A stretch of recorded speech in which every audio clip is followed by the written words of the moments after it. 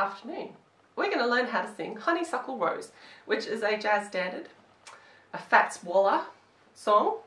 Uh, I think when he wrote this, it was like super fast. We're going to do it slow, sort of slow, just so we can kind of get our heads around the melody, and then we'll do a little bit of improv as well. I'm going to do this in the key that I wrote it for my alto saxophone. But it doesn't matter. I don't know what happened to the other chart. Every honey bee fills with jealousy when they see you out with me. I don't blame them, goodness knows. You're my honeysuckle rose.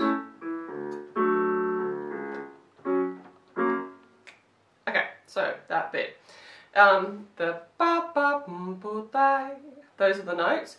Um, you have a lot of license with these particular notes to kind of change up the rhythm. You don't have to sing it every honey, every honey bee fills with jealousy. You can change it like every honey bee fills with jealousy when they see you out in. It doesn't have to be da ba ba da ba ba ba da ba ba ba da da da. You can change it up, which I think gives the song a lot of character. It's one of the reasons why I like this song. Um, let's, let's, let's do it in a few different ways. Um, every honeybee fills with jealousy. So I was kind of going da da, wah wah wah.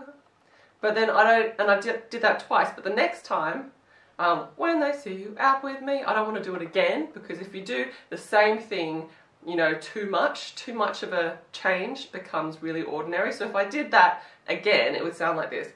Every honeybee fills with jealousy when they see you out with me. Kind of like it's a bit boring, but if I change it up, every honeybee fills with jealousy. I keep wanting to change the um, melody. Let's try that again. Every honeybee fills with jealousy. Now I'm going to change it. When they see you out with me.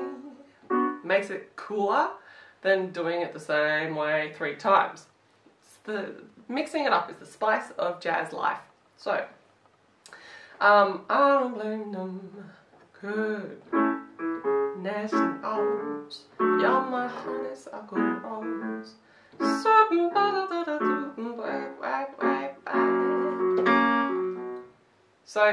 a lot of room at the end of um, I don't blame goodness knows. You're my honeysuckle rose. There's a whole bar while the band are doing the turnaround to start again that you can use to extend the note, fill it with a scat, do whatever you want, take creative license. So let's go from I don't blame them. I don't blame them, goodness knows. You're my honeysuckle.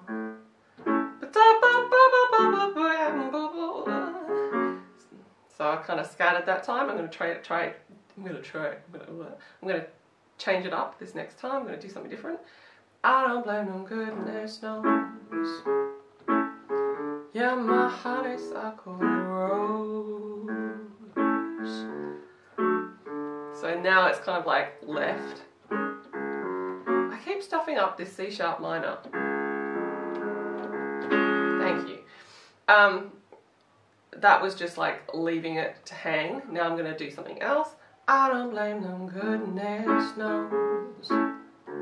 You're my honeysuckle. You're my honeysuckle always. So I kind of just add a little bit of extra something there instead. So uh, this is just literally the first verse, you know, first time round. All these cool things that you could do with Honeysuckle Rose. That's why I love it. It's such an easy kind of chord progression uh, to improvise over. And this is just literally changing the rhythm. You don't even have to worry, like, you know, when you start changing the melody, it becomes completely different again.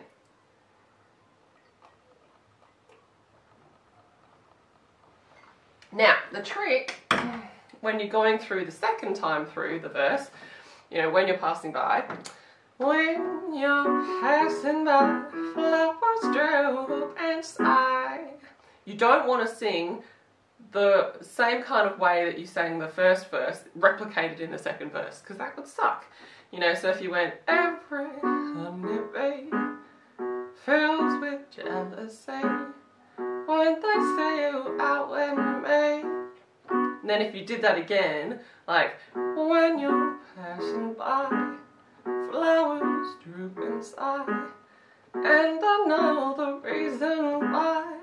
It kind of like it's like, oh, boring. You've turned what was cool into something that's not cool anymore. You've got to change it up. You've got to do something diff different. So if you are a beginner and you don't have many ideas, maybe like sing the first time through straight up, like as the melody's written, and then change the second time. And that will give you a little bit of, you know, you don't have to think of so much material, but, you know, it will still make it cool enough and change it all up. Now, we've got the B section. So you've got minims. Don't buy sugar, don't buy sugar. What's happened to my voice? Don't buy sugar. But you don't have to sing it like that. Don't buy sugar. You can mix it up. Like, don't buy sugar. Just for an example. Um, you just have to touch my cup my So you've got the same thing again. This is one of the reasons why this song is quite simple because everything kind of repeats in this song.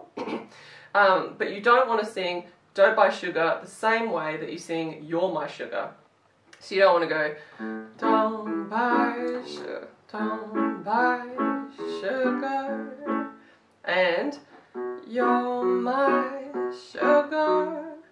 sing it exactly the same way. You want to mix it up. Don't buy sugar, You just have to touch my card. You're Baba my sugar, It's so sweet. I want to stop right on. And then we go back to the verse again, which is exactly the same as verse 1 and verse 2. Because this is an AA, BA song format.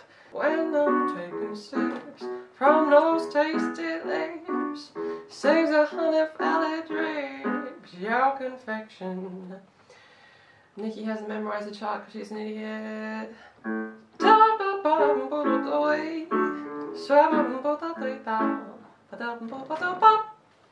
So, I hope that gives you, in a roundabout way, a very roundabout way, some ideas of how to break down Honeysuckle Rose and add your own little inspiration to it. Um, I will put a link below to where you can grab a couple of cool backing tracks for this song. There are piles on the internet um, that you can download for very cheap or free or very cheap. Um, and I'll put links to those below. I won't give you the chart because you know what, you need to go and transcribe the chart yourself. It's a very easy chord progression. I should have memorized it by now. I've been playing this for years. So you can go and transcribe it by ear. That's the best way for you to learn. Um, but I hope you enjoyed today's video. If you did, Leave me a comment and let me know if you tried any of these techniques out or if you found this video way too complicated or if you were like, yeah, this kind of gave me some really cool like ideas on how to add a little bit of improv to my songs. Um, don't forget to subscribe and I will see you in a couple of weeks.